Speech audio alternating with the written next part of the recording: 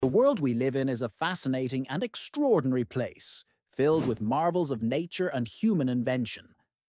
However, amidst the wonders, there are objects that possess the potential to cause immense destruction.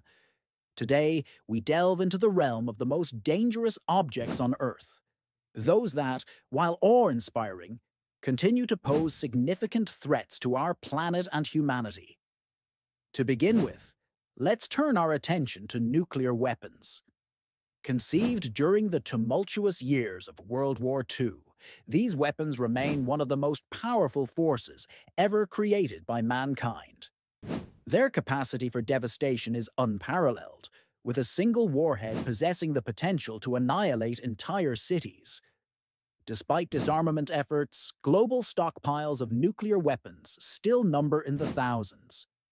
Deteriorating international relations and escalating tensions between nuclear-armed nations ensure that the specter of nuclear warfare remains an ever-present threat to humanity's existence.